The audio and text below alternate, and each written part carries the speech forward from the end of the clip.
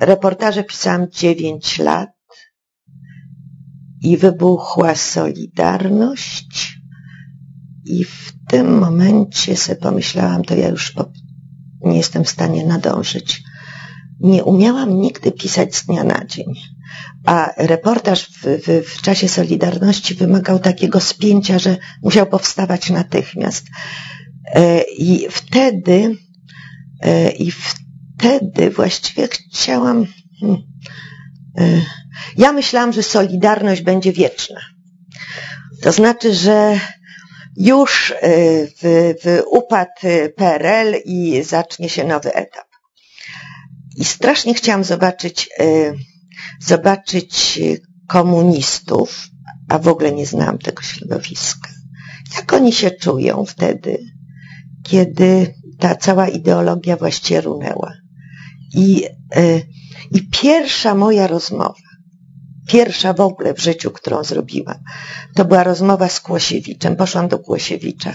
To był przewodniczący Wiktor Kłosiewicz, przewodniczący e, CRZZ-u, Centralnej Rady Związków Zawodowych. I to był mój pierwsza, mój pierwszy wywiad, który w życiu zrobiłam.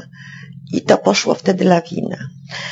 Nie wiem, czy to też, e, pamiętam zresztą taki moment, jak e, w ogóle w, w, w, wpadłam na ten pomysł, że trzeba w ogóle zacząć pytać tych komunistów, o co, e, co się, co właściwie ulepili nam tutaj po tej wojnie, II wojnie światowej.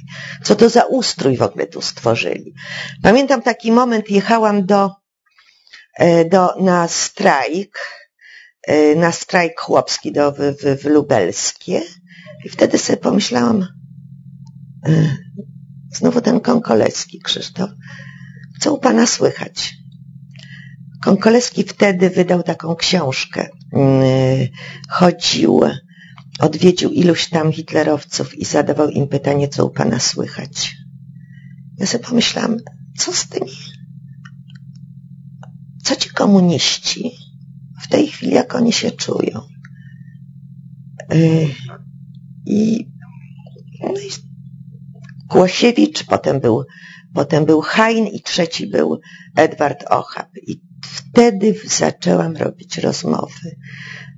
I to śmieszne, po tylu latach pracy właściwie odkryłam, że to jest, że to jest to moje, mój żaur. Właśnie rozmowy, a nie reportaż. Chociaż bardzo lubiłam pisać reportaże.